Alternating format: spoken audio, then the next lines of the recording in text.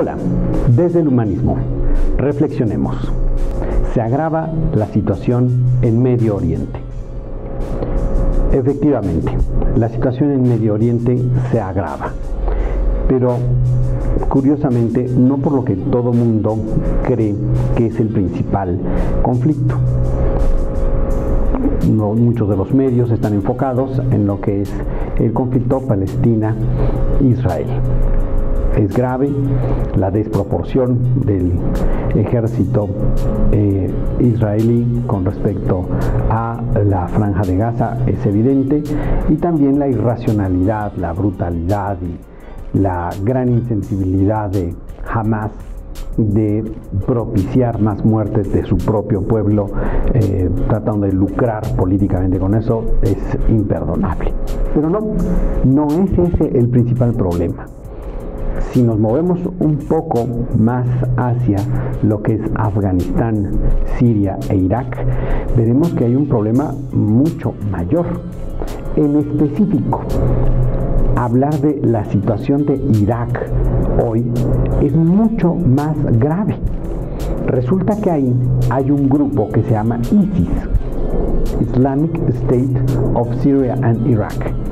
ISIS eh, es una parte del yihadismo internacional, hijos de eh, Al Qaeda, que están en auge como nunca antes, con financiamiento externo de Arabia Saudí y con su financiamiento propio a partir de tráfico de armas, tráfico de drogas, extorsiones, secuestros y ahora al tomar Mosul, la segunda principal ciudad de Irak.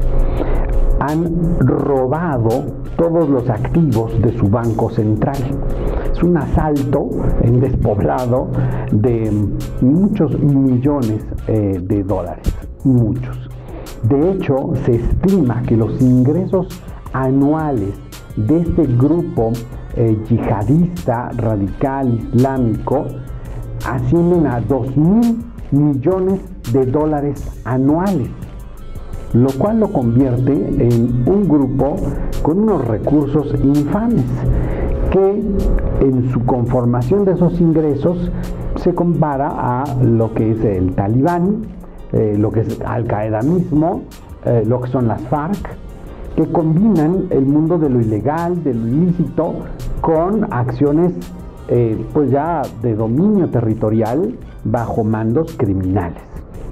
Además, el salvajismo y la brutalidad en el caso de ISIS se combinan con un eficiente uso de las redes sociales, en donde pueden mostrar muchísimas fotos de eh, eh, la masacre que cometieron eh, en contra de 1.600 soldados que capturaron eh, en batalla y después los asesinaron. Eh, no en batalla, sino asesinados por infieles, por varios cargos sumarios que les hicieron. Además, acaban de publicar su informe anual en Facebook como si lo ponemos en hojas, serían unas 400 hojas, en donde también hacen lujo y apología de una violencia en donde por lo menos presumen más de mil otros asesinatos.